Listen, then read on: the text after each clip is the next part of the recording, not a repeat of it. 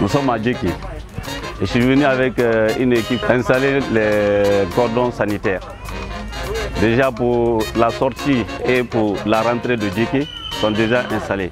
Notre rôle ici, c'est de, sensibiliser les gens, de laver chaque fois leurs mains, la rentrée vers la sortie. Chaque fois qu'ils viennent, quand ils rentrent, ils lavent les mains. À la sortie encore, ils lavent leurs mains. Maintenant, avec le thermoflage, on prend les températures pour voir si la température est normale ou pas. Les gens qui sortent, je les note dans les registres. J'écris leur nom, leur prénom, le sexe, l'âge, le numéro matricule des véhicules. Je prends aussi les numéros de téléphone. Les informations nous servent parce qu'il y a épidémie d'Ebola en ville.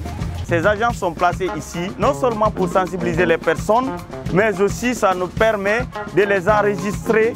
Les données seront remontées dans un serveur, seront analysées pour prendre les décisions. Cet enregistrement permet euh, non seulement de connaître d'où vient la personne, mais où elle va.